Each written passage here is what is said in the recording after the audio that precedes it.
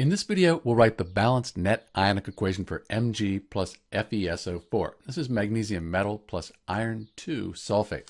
So with net ionic equations, the first thing we do is balance the molecular equation. This is the molecular equation, and it's already balanced, so that's nice. Next, we need to write the state for each substance. So magnesium, that's a metal, it's just going to be a solid. And then iron 2 sulfate.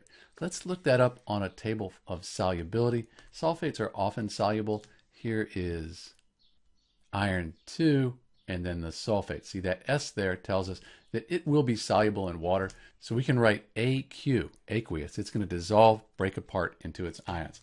Most of the sulfates are soluble. If we find magnesium sulfate here, that's also soluble. So that's going to be aqueous. And then the Fe, that's solid iron metal. Put a little S after that. So at this point, we can split the strong electrolytes into their ions.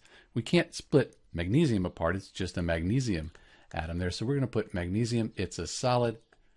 Sulfate here, the whole thing will have a 2 minus ionic charge. That's a good one to remember. So the iron has to be 2 plus. So we're going to have iron 2 sulfate. So we have our Fe, our iron 2 ion, plus the sulfate ion, SO4 2 minus.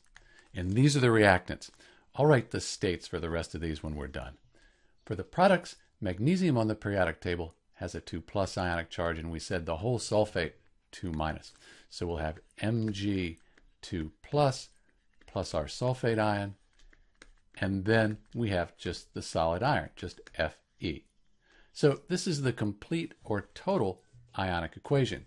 Now we can cross out spectator ions. We have magnesium and then the magnesium ion. Those are different.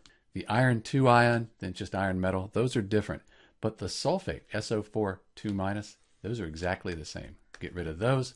What's left? That's our net ionic equation for Mg plus FeSO4. I'll clean this up and write the states. We'll have our net ionic equation.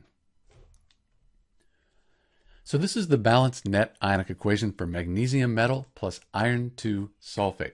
You can see that charge is conserved. We have a 2 plus on this side and a 2 plus on this side, and the atoms are the same. We have magnesium, magnesium, iron, iron. So that's balanced as well.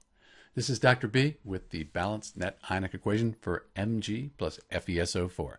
Thanks for watching.